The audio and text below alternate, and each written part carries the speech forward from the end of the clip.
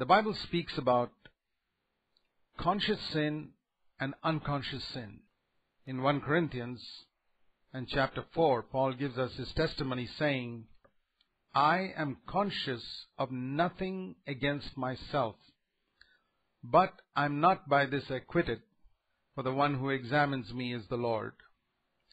And so we see here Paul saying that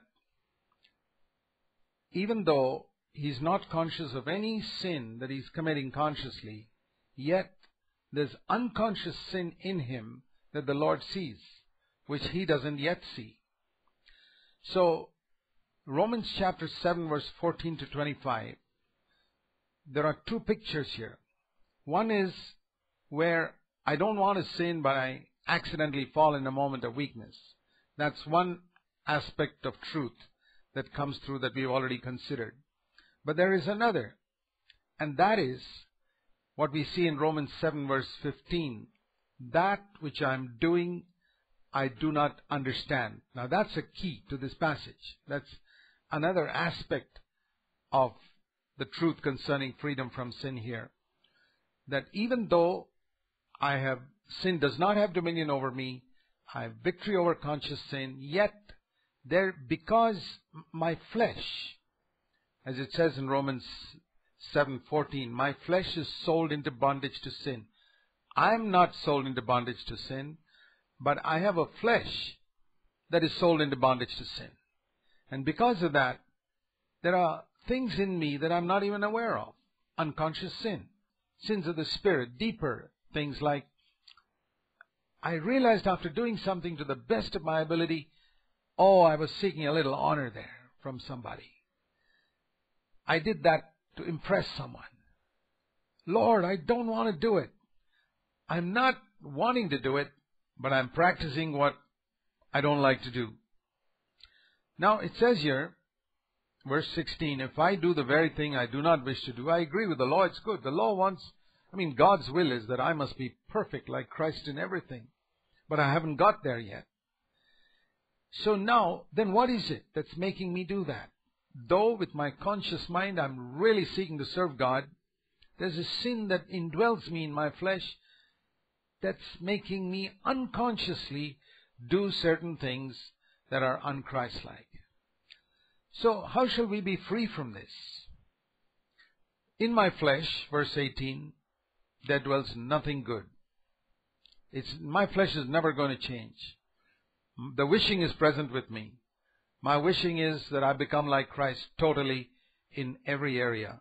But in actual practice, I find I'm not behaving like Christ or doing what Christ would do in different situations of life or thinking like Christ would think or having the same attitude to money and women and other people and things exactly like Christ. I want it, but the good that I wish, I want to be like that, I find in different situations I'm not like that. And as I progress in the Christian life, as I grow in the Christian life, the Holy Spirit gives me light on different areas of my life, which at one time I didn't understand. Like we said in verse 15, that which I'm doing and do not understand. We can look at our life something like this. Like a cube of ice in a glass of orange juice. 90% of it is under the surface of that orange juice and you can't see it and 10% is above. So our conscious life is like that 10% above which we can see. And there, Romans 6.14 applies. We can get victory. If we are faithful, we can overcome sin in all our conscious area. But still, there's a 90% of our life which is unconscious, where we just don't have light. And we are doing a whole lot of unchristlike things. This is what John expresses in 1 John. See, John says two things. In 1 John chapter 3 and verse 9, he says, No one who is born of God practices sin. He does not continue to commit sin because he's freed from it. If he comes to a life of victory, he does not commit conscious sin continuously. He may have the occasional fall, but that's different from continuously committing sin. That's also what we looked at in Romans 7. But John says another thing in 1 John 1 8. If we say that we have no sin, now having sin is different from committing sin. Committing sin is a conscious thing, some area we're aware of. But having sin is areas of unChristlikeness in our life which we're not even aware. We have it. See, if you think of that cube of ice that I mentioned, if you could neatly slice off that top 10%, that would be like having victory over conscious sin. What would happen? A little bit of that underneath 90% would come up. And you would get light on it.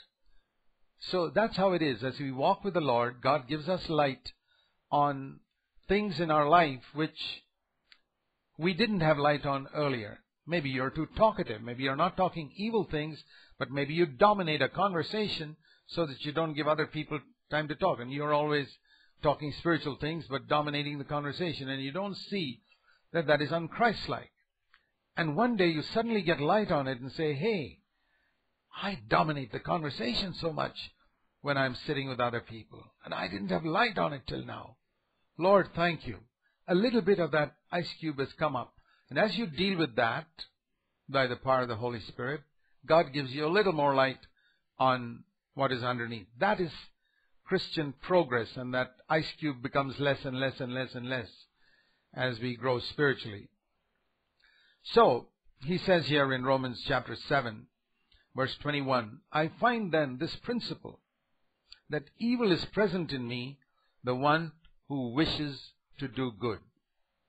Where is that evil? It's in my flesh. It's not in my will. My will is set on God's side. My mind is set on God's side, but my flesh has got a lot of unchristlike attitudes in it.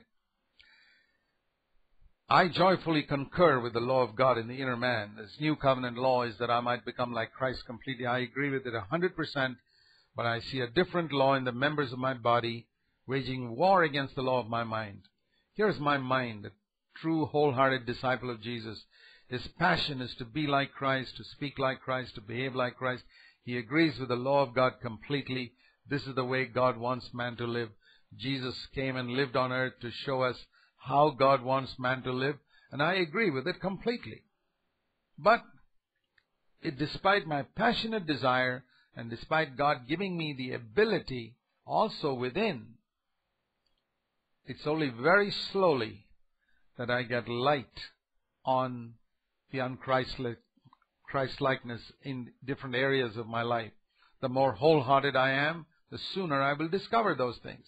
If you're not wholehearted, you will never discover those things. But God's will is that we progress and discover. I see this different law in the members of my body waging war against the law of my mind and making me a prisoner of the law of sin which is in my members. Now, he, let me repeat again. He's not speaking about continuously lusting after women and continuously telling lies, continuously losing the temper. No, he's finished with that in Romans 6. He's talking here, one, as I said earlier, about the accidental fall, when you don't want to sin at all, and secondly, about unconscious sin. Both we could see in this passage in Romans 7. So, when he sees that in himself, he feels terrible. And he thinks of himself saying, Oh, wretched man that I am, who will set me free from the body of this death? See, selfishness and pride, particularly, are two sins that are very deeply rooted in us, and they're like two huge onions. And I, we looked at the illustration of the ice cube. We could look at the illustration of an onion. An onion has got many layers. And you do something, and afterwards you discover that there was selfishness in that. And you repent of it, and you peel off one layer of that selfishness and you got a little light of selfishness in that area, but you haven't finished with it. Because in some other situation, as you walk with the Lord, you get more light, another layer of selfishness which you peel off, and little by little that onion gets thin. In the same way with pride. You may do something sincerely, wholeheartedly, want to live it for, for do it for the glory of God, and at the end of it, you may find a little secret spiritual pride comes up or a little seeking the honor of men or seeking to impress men.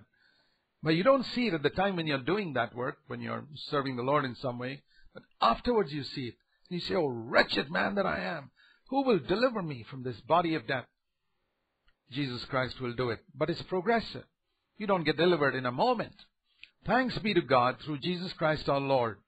So then, on the one hand, I myself with my mind, no doubt what I'm doing. I want to serve the law of God completely, but on the other, my flesh, till the end of my life, it will serve the law of sin.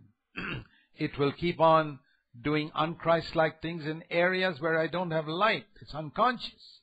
And because it's unconscious, I'm not living in conscious sin. Romans 8 1, there is no condemnation for those who are in Christ Jesus. Because we don't walk according to the flesh, but we walk according to the Spirit. But even the one who walks according to the Spirit, he's not perfectly like Christ. He's progressively getting more and more and more and more like Christ. This is a wonderful life. So there is no condemnation. And if we understand Romans 7:14 to 25 all right, we will not condemn ourselves for that occasional trip up when we fell when we didn't want to or because of unconscious sin that we discover progressively, but we press on to become more and more like Jesus Christ. Amen.